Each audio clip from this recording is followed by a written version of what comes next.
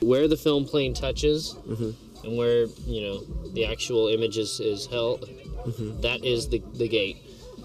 So you got to make sure that it is clear.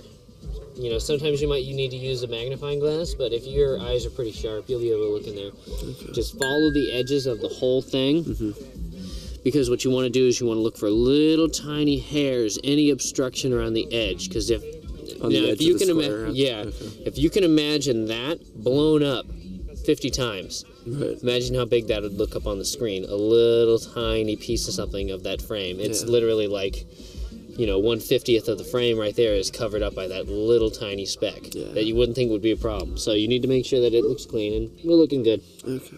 This is just a connector, connects the whole camera together. It also connects it to the tripod. And that screws in into the notches here.